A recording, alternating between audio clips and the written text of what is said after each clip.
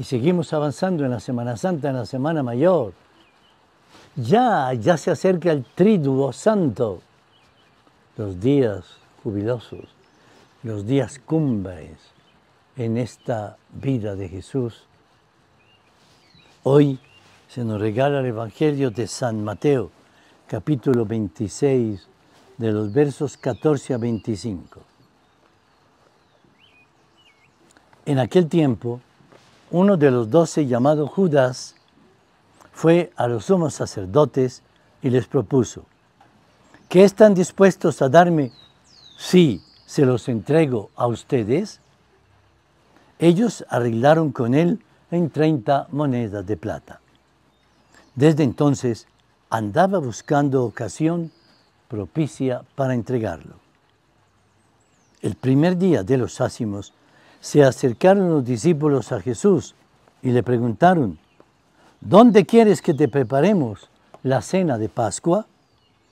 Él contestó, vayan a la ciudad, a casa de quien ustedes saben, y díganle, el maestro dice, mi hora está cerca, voy a celebrar la Pascua en tu casa con mis discípulos.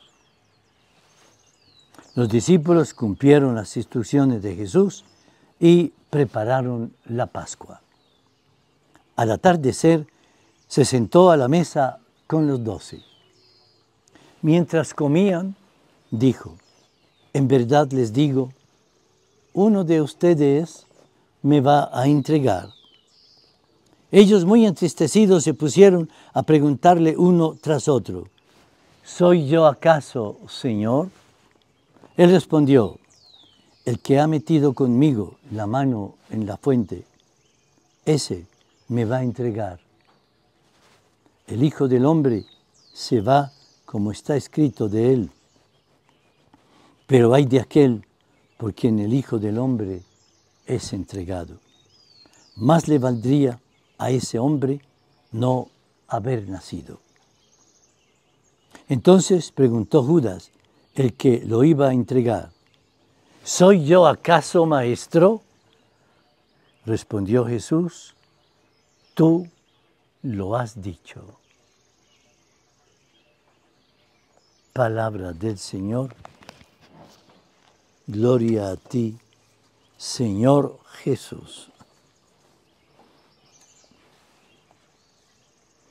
Diálogos luminosos, diálogos estupendos, diálogos con sabor a eternidad, con sabor a vida nuestra, vida tan plena de estupideces, tan llena de contradicciones, tan llena de pecado.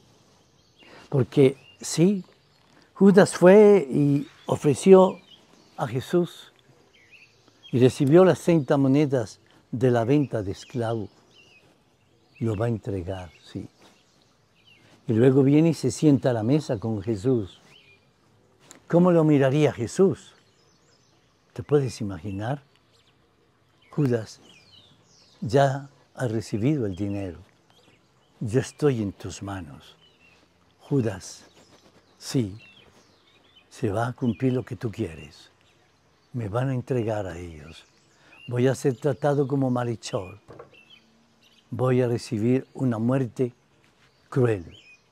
Judas, y tú diste ese paso, me entregaste.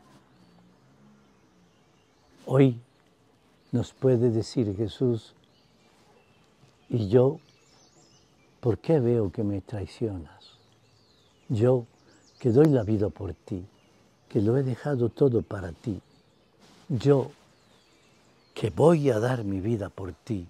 Yo que te entrego cada día mi vida en la Eucaristía, en la cruz, y me dejas y me traicionas. ¿Te molesto? ¿Te molesto porque te digo que debes salir de tu pecado? ¿Te molesto porque te digo que debes dejar todo vicio, todo mal? ¿Te molesto porque te digo que debes ser fiel en el seguimiento? Y por eso prefieres entonces quitarme la vida. Pero hay un segundo paso en este Evangelio que es hermoso. No solamente cuando Jesús, fíjate cómo le encantaba a Jesús estar rodeado de sus discípulos. Y por eso en la mesa de la Eucaristía, óyelo, es feliz viéndonos reunidos en la mesa del altar, en el templo, rodeando el altar. Y nosotros, ausentes, ¿verdad? Hoy no voy, hoy no asisto, y queda el puesto vacío. Pero me llama la atención el final. Judas entonces, como diciendo, pues aquí de todas maneras, eh, este posiblemente me va a defender. Y le pregunto, ¿soy yo acaso maestro? ¿Y qué le responde Jesús? Tú lo has dicho. Qué enseñanza, Señor. Sinceridad. Sí, tú eres el traidor. Pero fíjate, no hay un grito, no hay un insulto, no hay un maltrato de Jesús. Simplemente, sí, tú lo has dicho, es la verdad. Esa frase nos debe calar a nosotros. Sí, tú me has traicionado tantas veces. Tus pecados son tantos, tan frecuentes, y no haces esfuerzo por salir de ellos y estás como muellemente acomodado. Sí, tú, tú eres el que lo haces. Yo te lo digo serenamente porque mi amor quiere ser sereno siempre, pero es verdadero. Por eso, arrepiéntete y vuelve. Vuelve a mí que te espero. En esta Semana Santa te espero tengo para ti no solo mensajes gratos, sino también acciones que te van a sorprender. Te vas a dar cuenta que son por ti, por tu felicidad, para que tu camino cada día sea más amplio y bello. Que nos bendiga el Señor hoy y siempre, en nombre del Padre, del Hijo y del Espíritu Santo. Amin.